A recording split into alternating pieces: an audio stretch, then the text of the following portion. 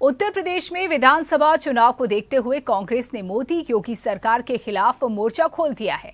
बता दें कि कांग्रेस की राष्ट्रीय महासचिव और यूपी प्रभारी प्रियंका गांधी ट्रेन से ललितपुर पहुँच गईं।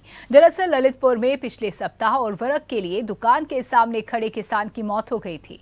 प्रियंका ने मृतक किसान के परिजनों से मुलाकात की। माना जा रहा है कि प्रियंका गांधी एक बार फिर ललितपुर में राज्य की सत्ताधारी योगी सरकार के खिलाफ आक्रामक होंगी।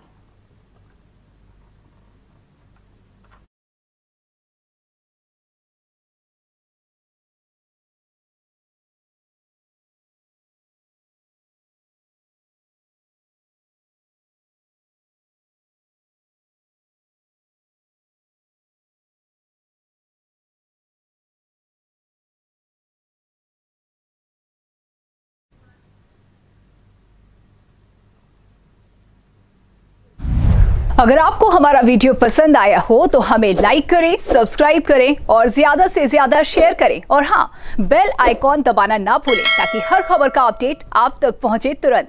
आप हमें इंस्टा ट्विटर और फेसबुक पर भी फॉलो कर सकते हैं। हमारी आईडी है at the rate news slash